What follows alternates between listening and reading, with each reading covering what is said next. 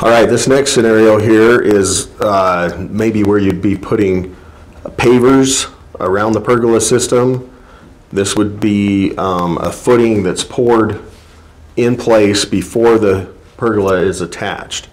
So you can see the footings underneath that system, the pavers that are there. Uh, Let's go to the cut section on this. Okay, you can see our posts go all the way down to the top of the footing. Same system here, the, the knife plate is bolted to the footing. And again, this footing is gonna be, you know, probably a twelve inch diameter, eight or twelve inches deep. That's a basic footing. Um, consult your building department for what depths you would need in your area. Let's zoom in on the knife plate again.